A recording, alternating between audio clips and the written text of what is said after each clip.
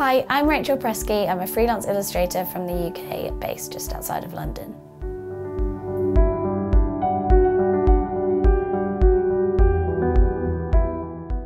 My earliest memory of illustration is probably as a kid I used to draw over the, like kind of trace over the Winnie the Pooh illustrations in the books. Um, they were just my favourite. Winnie the Pooh's always been my favourite, I still live it now, so yeah.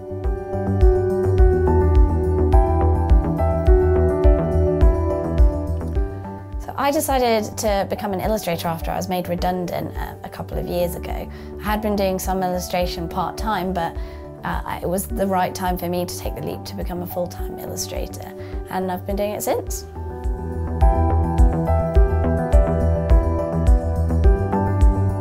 Uh, my inspiration really comes from my day-to-day -day life and also the work that I get given from clients. So um, I'll say, what have I been doing today, basically. It sounds really ridiculous, but you know, sometimes I'll draw, I had a really fun yoga session, so I'll draw a pose from a yoga session or things like that.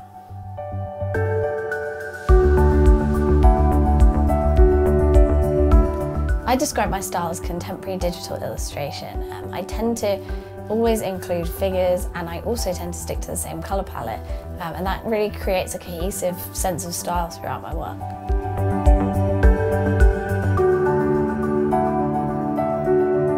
So the collection that can be seen in the book is actually a series of personal work I've done um, over the years and they're all different pieces. They've, some of them have come from a word that I've then drawn something based on that word or a couple of others are from little briefs I've set myself and a culmination of all of those has led to my Adobe stock portfolio.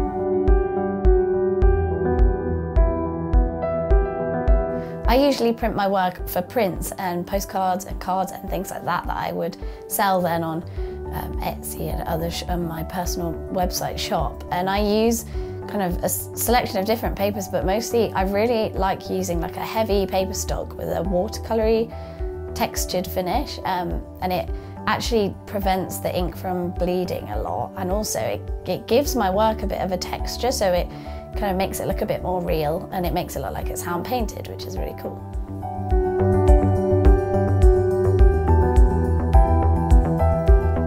For anyone that's looking to make a start in illustration, I just say just start drawing. Um, draw as much as you can, draw as many things as you can. Like if you can, take life drawing classes and classes like that and really hone your skills in and then you can start playing with the different size of the legs, different size of heads if you're doing people um, and then just draw things around you and it's really fun. So the more you do it and the more fun you have with it, the better your image is going to be too.